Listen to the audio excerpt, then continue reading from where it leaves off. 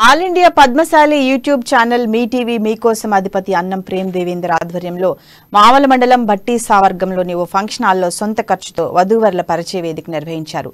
ముప్పై జంటల online registration చేసుకోగా మరో ఇరవై జంటలు ఆఫ్లైన్లో రిజిస్ట్రేషన్ చేసుకున్నాయి. ఇందులో ఇరవై జంటలకు వివాహం కుదిరింది. ఈ పరిచయ వేదికకు ఆదిలాబాద్ జిల్లా నలుమూలల నుండే కాకుండా జగిత్యాల కరీంనగర్ జిల్లాల నుండి పద్మశాలీలు అధిక సంఖ్యలో తరలివచ్చారు.